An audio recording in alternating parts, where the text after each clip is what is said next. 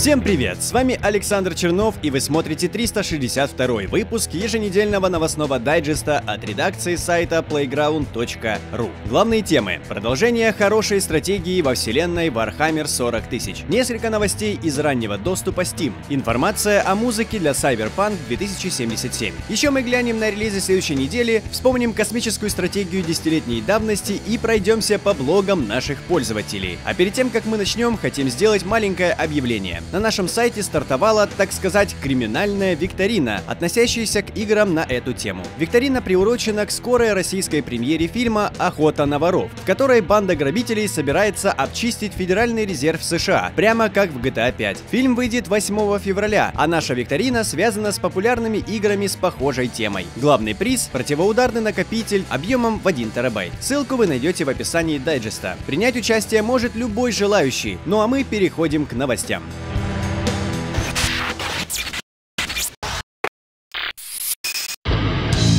Эта неделя принесла приятную новость поклонникам стратегии и вселенной Warhammer 40 тысяч. Состоялся официальный анонс продолжения Battlefleet Gothic Armada. Если вы помните, первая часть обладала удачной концепцией. Впрочем, в ней были и свои недостатки. По словам разработчиков, сиквел станет намного лучше, масштабнее, амбициознее, грандиознее. Нам обещают провести хорошую работу над ошибками. Например, уже на релизе в состав игры войдут все 12 фракций из оригинальной настолки. Это Имперский флот, Космодесант, Адептус Механикус, Некроны, Хаос, Корсары Эльдар, Крафтворлды Эльдар, Темные Эльдары, торговые и оборонительные флоты Тау, Орки, Третий Ведьмак, а также Тираниды. Сюжетной основой игры служат свежие сценарии из вселенной Warhammer 40 тысяч. Например, нам обещают показать события 13-го Черного Крестового Похода и грядущего шторма. Игроков ждут масштабные и грандиозные битвы, улучшенные сетевые режимы и исправленный баланс, а также гораздо больше опций по кастомизации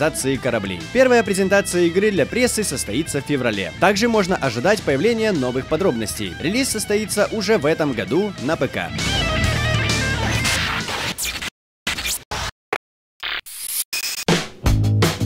Продолжаем космическую тематику. Создатели замечательной стратегии Endless Space 2 анонсировали дополнение для своей игры. Называется оно «Затворники». Появление новой цивилизации всегда открывает новые игровые возможности. Затворники умеют телепортироваться и могут использовать легендарный ковчег для колонизации. На стороне затворников выступают собственные герои. Они располагают уникальными технологиями и зданиями. На их стороне выступает младшая цивилизация Сестры Милосердия. Само собой, у затворников есть собственная глобальная задача – узнать узнать правду о своих богах. Также дополнение добавит в игру новые экзотические боевые модули, а также особую дипломатию, благодаря чему вы сможете вести переговоры с представителями пиратов.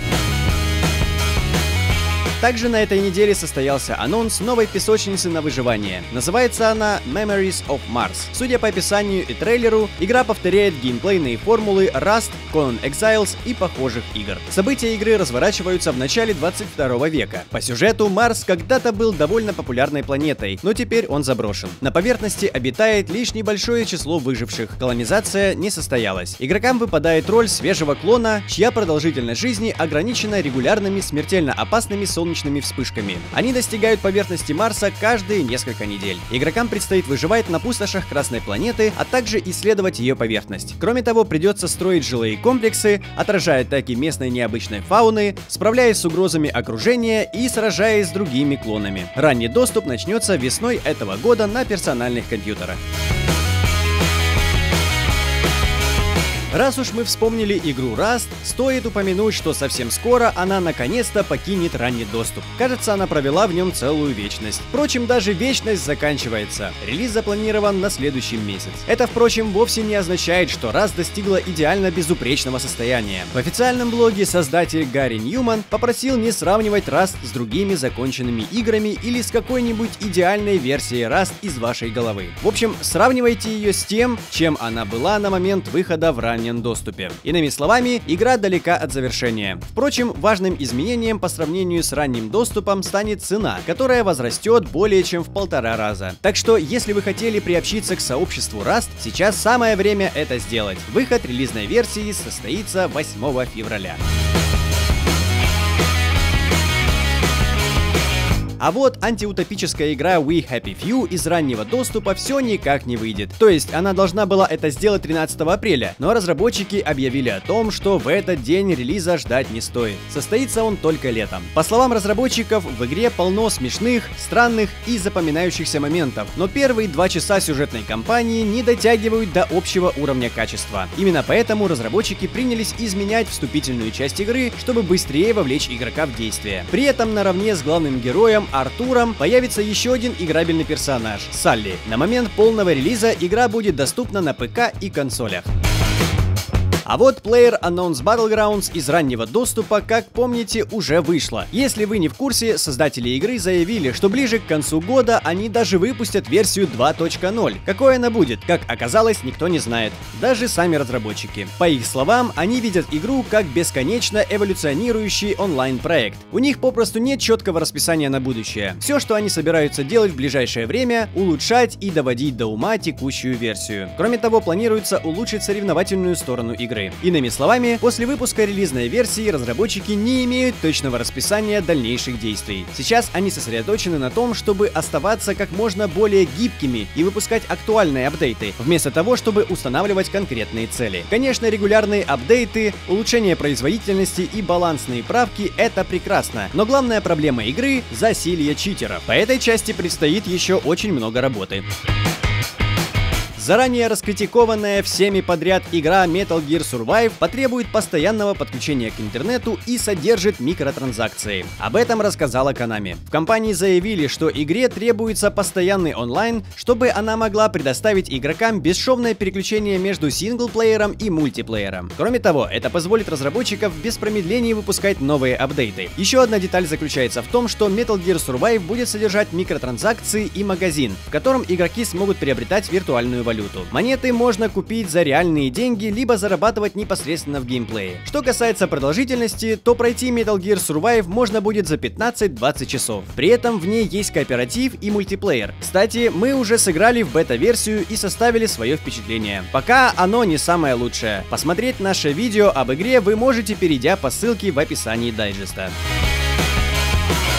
Разработчики Battlefield 1 объявили о том, что четвертое дополнение под названием Апокалипсис станет доступно уже в этом феврале. Это намного раньше, чем можно было бы ожидать. С 1 февраля дополнение станет доступно владельцам сезонного абонемента. В его состав войдут новые сражения Первой мировой. Это Пашендаль, Капаретта и Сома. Всего дополнение добавляет 5 новых карт. Три из них будут сосредоточены на классических сражениях с использованием всех видов войск, а еще две созданы специально для режима воздушных боев. В дополнении игрокам игрокам также станут доступны новая техника, оружие и устройства. Например, штурмовик получит зенитное ружье, которое позволит пехотинцам помогать пилотам, нанося серьезный урон вражеским аэропланам. Пока все мы с нетерпением ждем подробной информации о Cyberpunk 2077, стала известна некоторая информация о игровом саундтреке. Оказывается, его написанием занят Брайан Мантия, американский барабанщик, игравший с такими группами, как Guns N' Roses и Godflesh. О своей работе над Cyberpunk 2077 Брайан рассказал в отдельном интервью. По его словам, разработчики стремятся создать для игры настоящий саундтрек будущего. CD Projekt ищет музыку, которую люди еще не слышали, такая, которая бы играла в 2077 1977 году. Брайан добавил, что вовсю экспериментирует над звучанием игрового саундтрека. Похоже, нас ожидают футуристичные, ни с чем не сравнимые звуки. Кроме того, известно, что над саундтреком игры также работает Мелисса Рис. У нее есть богатый опыт создания музыки для видеоигр, включая Bloodborne и Infamous Second Son. Помните демку хоррора Silent Hills от Хидео Кадзимы? Ту, которая называется PT, и которую потом удалили из магазина PlayStation. В свое время она наделала немало шума, очень быстро собрав более миллиона загрузок. К сожалению, тогда она так и не добралась до ПК. Теперь эта ситуация изменилась благодаря энтузиастам. Их стараниями на ПК появились сразу два прототипа PT. Их цель одинакова – перенести на компьютеры игровой опыт от демки. Первый прототип воссоздает демку на Unreal Engine 4. Второй прототип получился несколько иным. Вместо того, чтобы разрабатывать ПК-ремейк демки с нуля, автор экспортировал доступные ресурсы из версии для PlayStation 4, а потом использовал их в своей работе. На новом движке он лишь переделывает такие элементы демки, как текстуры и анимации. В описании дайджеста вы найдете ссылки на оба прототипа, можете посмотреть, что там к чему. Но мы переходим к релизам ближайших дней.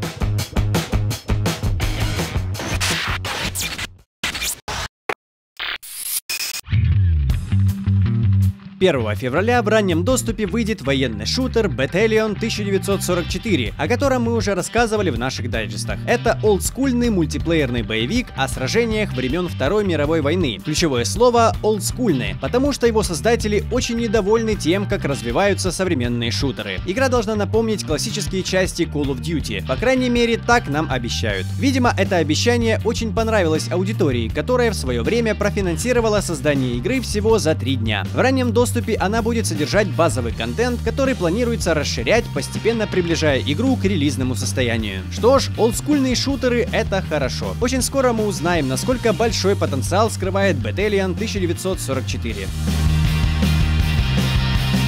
А 2 февраля в Steam официально выйдет игра по мотивам Half-Life. Называется она Hunt Down the Freeman. Разумеется, Valve не имеет к ней никакого отношения. Поначалу это была фанатская модификация для Half-Life 2. Среди ее замечательных черт оказался странный сюжет, нелепые эффекты и даже украденная карта из Garry's Mod. Впрочем, модификация была полностью переработана с участием другой команды и теперь стала полноценной игрой. Valve даже решила официально распространять игру через Steam. Сюжет рассказывает о миссии бойца с спецподразделения, которое прерывается вторжением пришельцев. Что будет дальше, мы узнаем уже 2 февраля.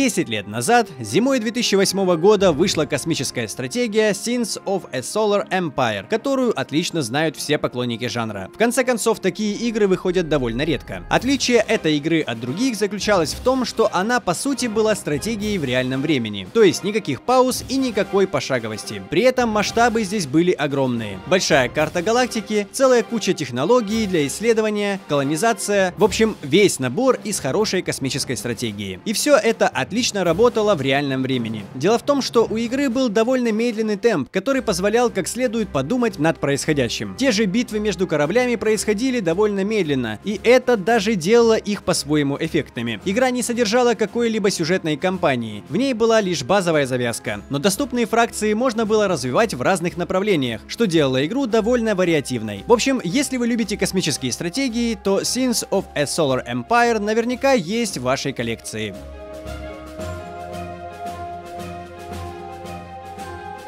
Переходим к пользовательским блогам. Начнем с потрясающего поста о культовых разработчиках и их главных творениях. Автор не поленился и проделал огромную работу, собирая самую интересную информацию. Например, вы сможете узнать о любопытных моментах, связанных с разработкой Max Payne. Ссылку вы найдете в описании дайджеста. Второй пост опровергает утверждение о том, что играть на консолях дорого и гораздо выгоднее иметь игровой ПК. Уверен, что с этим многие начнут спорить. Хотите узнать аргументы за консоли? Ссылку вы найдете в описании. Заходите, читайте и комментируйте. Ну а мы пока прощаемся с вами. Удачи и до встречи на playground.ru.